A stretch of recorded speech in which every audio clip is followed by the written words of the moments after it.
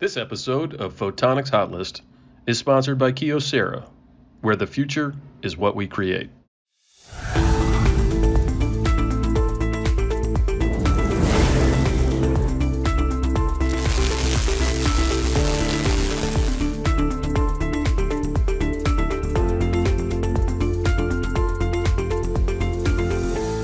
Hi, I'm Justine Murphy, Senior Editor of Laser Focus World, with a peek into what's happening in the exciting world of photonics.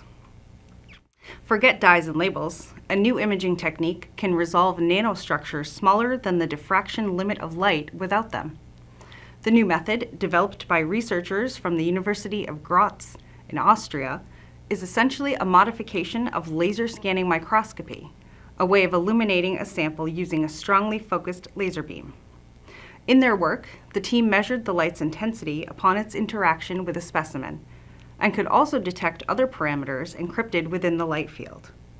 Specifically, they were able to measure the position and varied sizes of gold nanoparticles at an accuracy of just a few nanometers. This approach to laser scanning microscopy could become the preferred method for imaging nanostructures, as it's completely non-invasive. There is no need to prepare and inject fluorescent dyes into a specimen prior to imaging. A new self-cleaning optical fiber could mean big things for bio and environmental applications.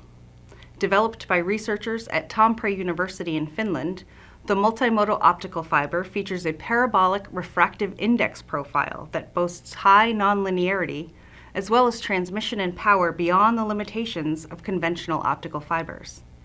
By injecting short pulses of light into the fiber, the team vastly broadened into the mid-infrared.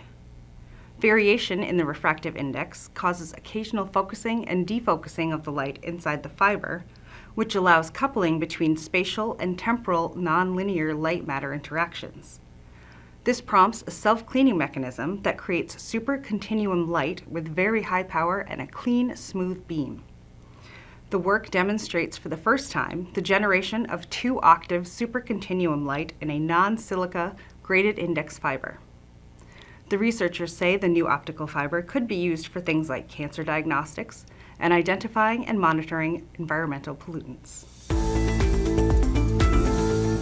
Physicists in California have found that a hydrogen molecule could serve as a quantum sensor, prompting unprecedented time and spatial resolution for monitoring and measuring a material's chemical properties.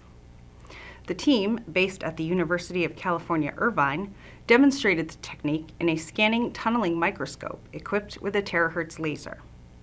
The work involved positioning two bound hydrogen atoms between the microscope's silver tip and a flat copper surface sample covered with tiny pieces of copper nitride. Laser light pulses lasting just trillionths of a second could excite a hydrogen molecule and allowed detection of changes in its quantum state at cryogenic temperatures. This produced atomic scale time-lapsed images of the sample. The researchers say this work paves the way for further development of devices such as quantum microscopes, which have already proved to be more sensitive than traditional technologies.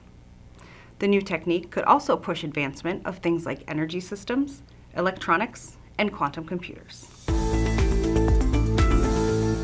And that's your Photonics Hot List. For more information, visit laserfocusworld.com. Thanks for watching.